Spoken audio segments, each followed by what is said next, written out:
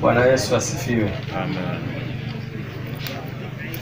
Chairman Dr. Mshindo Msola, Senzo my big brother, makamu mwenyekiti Fredrick Mwakalibela, wajumbe wa kamati ya utendaji, main sponsor Sport Pesa, my big brother Nugas, waandishi wa habari, wageni waalikwa, habari za mchana.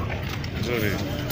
Nichukue fursa hii kwanza kuwashukuru sana um, uongozi wa klabu ya Yanga especially waandaaji wa hafla hii ambao ni kamati uh, naweza kusema secretariat ya Yanga chini ya ushauri wa Senzo kuandaa tukio hili kubwa sana la kuwaalika waandishi wa habari kuja kutembelea camp ya klabu ya Yanga lakini pia kuwashukuru kwa kuacha majukumu yenu mengine na kuja kushiriki kuchukua taarifa ambazo wananchi wapenzi na mashabiki wa klabu ya Yanga wangependa kuzifahamu kuhusu klabu yao.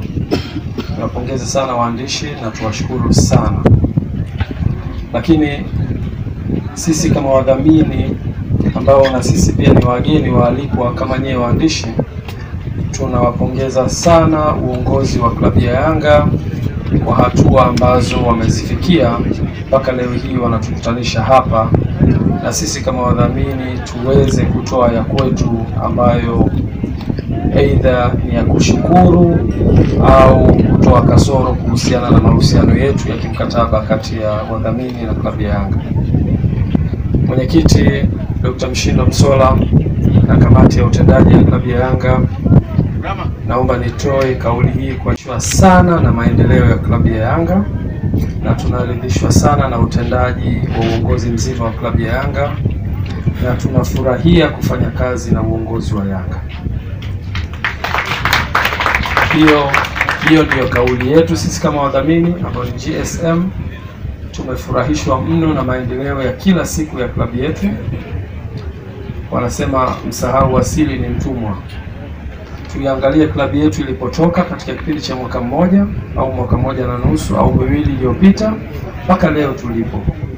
Tumshukuru sana Mwenyezi Mungu, amekuwa pamoja na saa, amekuwa pamoja nasi, lakini sio tu hivyo, jitihada ambazo zimefanyika za kuendelea kuijenga timu yetu zimekuwa ni jitihada ambazo zimezaa matunda.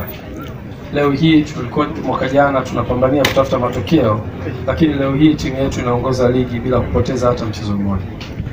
Haya, nataka niwahakikishie viongozi wetu chini ya Dr. Msola, viongozi wa kamati ya utendaji, secretariat, pamoja na ufadhi, pamoja na, na mawazo yanayotoka kwa Senzo, wadhamini wenu wamekuwa hawalali kuhakikisha wanatoa kila ambacho kinawezekana kuhakikisha wanayanga mwaka huu wanabeba ubingwa.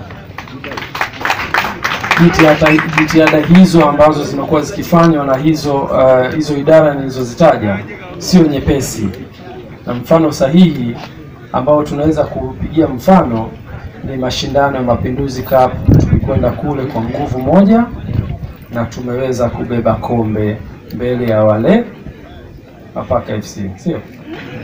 Kwa hivyo niseme wazi tu, viongozi wenu hawalali, wanahakikisha wanatupa matokeo, na sisi wadhamini tunawaunga mkono